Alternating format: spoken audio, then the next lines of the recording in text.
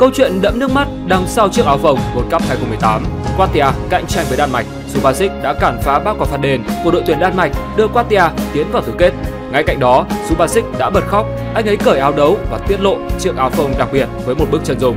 Chữ Forever cũng được viết trên dòng đầu tiên của bức hình. Chàng thanh niên trên áo chính là Kustik, là một người bạn rất tốt của Subasic. Thời gian họ tập luyện cùng nhau, thậm chí còn nhiều hơn thời gian dành cho bố mẹ. Và tất nhiên, cả hai cũng tràn đầy khao khát về một kỳ World Cup. Chuyện xảy đến vào năm 2008.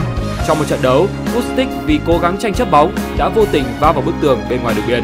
Dù đội ngũ y tế đã kịp thời cứu sống Kustik, tuy nhiên do nhiễm vi khuẩn ác tính sau đó, anh đã lặng lẽ nói lời từ biệt.